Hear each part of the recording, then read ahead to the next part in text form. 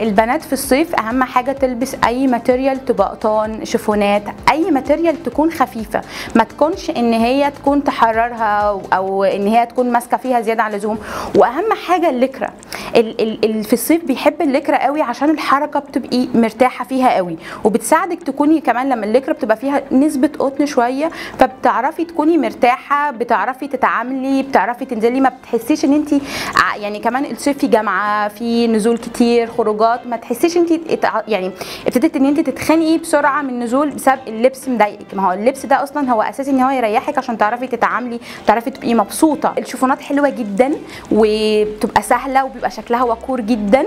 بتعرف تشكلي فيها حاجات كتير بتمشي سواريه بتمشي خروجات عادية بتمشي بتعرفي تنوعي فيها قوي وبتساعدك وفي نفس الوقت ما بتبقاش خانقة قوي لأن انت ممكن تلبسي تحتيها أي body cut نفس الحكاية كمان ما ينفعش إن هم يلبسوا ألوان غامقة. يعني حتى لو هتلبس لون غامق تلبسه في حاجة معينة وما يعني ما يكونش مثلا أساسي فوق مثلا. الغامق فوق بيحرر قوي. آه إن هي حاول إن هي تلبس ألوان فاتحة آه ده أهم حاجة إن هو أصلا الالوان الفاتحة بت... ما بتبقى الشمس بعيدة عنها شوية بت... بتبقى فيه هواء بالنسبة لك بتعرفي تتحركي أكتر.